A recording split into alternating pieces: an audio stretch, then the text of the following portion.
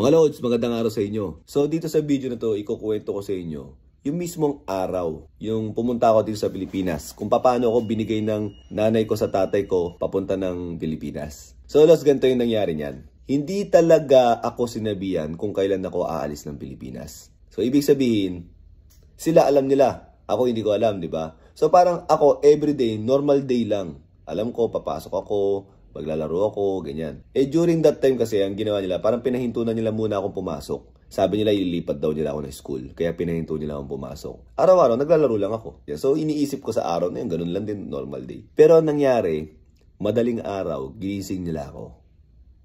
So, madilim pa yun. Alam mong madilim ba? Tapos, paggising ko nun, nandun yung tito ko. Nakabihis na siya. Tapos nanay ko nakabihis din. Medyo nagtaka ako. Tapos, ang ginawa ng tito ko, uy, gising ka na pala. Ginawa niya, sige, higa ka lang. Minasahe niya yung ulo ko, ganyan. Tapos yan, yung, yung mukha ko, minasahe niya. Sabi ko, minamasahe din pala yung ulo tsaka yung mukha. Sabi niya, oo naman. Sabi ko, grabe, ang sarap pala ng pakiramdam pag minamasahe yung ulo mo, ganyan. Sabi niya, oo, pagkabalik mo dito sa Korea, ha? Mamasahin kita ulit. Sabi ko, bakit? Kasi sasakay ka ng aeroplano ngayon, di ba? Pupunta ka ng Amerika. Yun na yung, ano, yung, yun naman kasi yung plano nila talaga eh, na parang itrick ako na kunwari sa Amerika para pumayag ako. So, ah, ngayon na pala yun, sabi kong ganun. Sabi, sabi nila, oo, oo.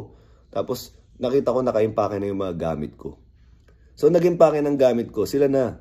Hindi ko na nga alam kung ano yung mga nandun sa loob na sila nag-impake ng gamit ko. So, yung lola ko, hinanap ko. Sabi ko, nasan si lola? Ang sabi nila, nandun lang sa labas ng kwarto. So, during that time, nung nasa bahay kami, hindi kumikibo ang lola ko. Tapos, sumakay na kami ng kotse.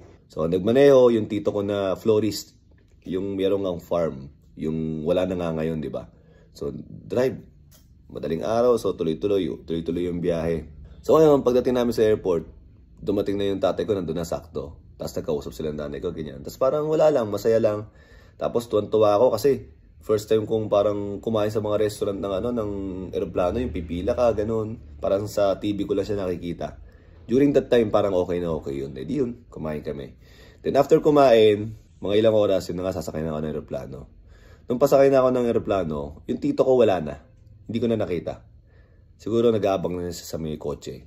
Pagkatapos, nung hinatid na kami dun sa, ano, sa may mismong pasakay na ng eroplano, ayun na nga yung ano na bye-bye, o dyan yung, bye-bye, o dyan yung, ganun. Tapos ako nagbababay lang bye-bye, bye-bye, bye-bye. Yan, see you again, parang ganun. Biglang yung lola ko, umiyak na, parang nagtatalon na. Iyak na siya ng iyak. Nung nagulat ako. Tapos yung nanay ko, nagtatalon na rin. Parang tumatalon-talon na rin siya, parang gusto niya akong abutin, ganyan. Ako, na- nasa isip ko, babalik naman ako after two weeks. Ha. Tumatawa pa ako. Sabi ko, ba, ba't, ba't sila umiyak ng ganyan? Para naman di ako babalik. After two weeks, babalik naman ako dyan. Ganun. Sabi ko, bye-bye, bye-bye. Ginagano ko sila, bye-bye, bye-bye. Yun na. Nakasakay na ako ng aeroplano. So ngayon, edi madalit salita, nagland na kami sa Pilipinas. So, sinundo kami ng kuya ko. During that day ko na rin nalaman na may kapatid pala ako. Ako naman, tuwan-tuwa ako. Pero naalala ko pala sa aeroplano pa lang, parang tinatanong na ako ng tatay ko, gusto mo bang may kapatid? Ganto, ganyan. Sabi ko, gusto ko, gusto ko. Okay, gumagano siya. Tapos nung nandun na kami sa Pilipinas, pag sundo sa akin ni kuya, sa amin pala, doon na sinabi sa akin ng tatay ko na, oh, kuya mo pala, yan, si Jay, ganyan. Tuntua ako, oh, talaga may kuya ako. Ay ko, kuya, th- thank you kuya, gumaganon pa ako nun. Pagdating namin sa bahay nila, sa Paranaque, which is doon pa siya nakatira dati, maya-maya, parang bumubuelo siguro sila, pinaglalaro lang nila ako mag-isa. Si- sinabi na nila sa akin na, ah, Julius, hindi ka na babalik ng ano, ng Korea, ganyan. At wala ka sa Amerika, nasa Pilipinas ka. So, grabe yun. Talagang, hindi. Sabi ko, hindi totoo yan. Babalik ako, sabi ng nanay ko, ganyan. Tapos sabay, hindi. Totoo. Nung na-confirm ko na parang totoo yung sinasabi nila, yun na nga, nagwala na nga ako, iyak na ako ng iyak, ganyan, iyak na ako ng iyak. Tapos halos gusto ko sirain lahat ng gamit doon. So, nangyari, hindi basta umiyak lang ako, inaawat nila ako. Kasi talagang gusto kong batuin lahat ng gamit doon, ganun, ganun ang nangyari. Tapos hanggang sa gabi yun, paulit-ulit yun na hindi ba pwedeng bumalik na lang ako ng Korea. Gusto ko, ngayon na, hindi, ngayon na, babalik na ako. Hindi after two weeks, ngayon na mismo, balik nyo na ako doon. Ganyan. Kasi binigla nila ako, eh. ginising niyo ako ng umaga. Biglang dadalhin niyo ako sa Pilipinas nang wala akong kamuwang-muwang, di ba? Wala talagang yung ano, kasi alam nila ayoko eh. Gusto ko talaga sa nanay ko noong time na yun. So, ang mangyayari, medyo mapapatahimik ako, mapapagod ako umiyak. Tapos medyo parang may hawak akong laruan. After mga mga ilang minuto, ilang oras, tat sasabihin ko sa tatay ko na ibalik mo na lang ako doon, ibalik mo na lang ako doon. Paulit-ulit na ganun yun.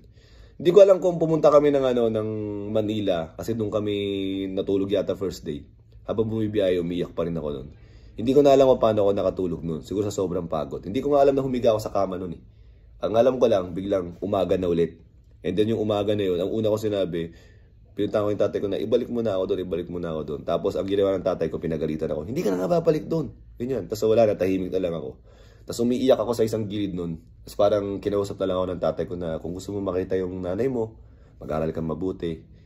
And darating yung time na makahanap mo siya. Yun yung sinabi niya. So yun yun. Six years old ako noon, isang buong araw na bigla na lang nila ginising. Sinabi nila ganito. And then nagulat ako, dinala na ako sa may Pilipinas. And then sinabi nila sa akin na hindi na ako babalik. Biglaan lahat yun. So, yun lang mga lods. Sana napipicture out nyo kung paano yung nangyari nung araw na yun. Kasi marami rin nagtatanong eh, paano ka, paano ka nila nadala ng Pilipinas? Ganito, ganyan. So, ganun yung nangyari. So, thank you mga lods.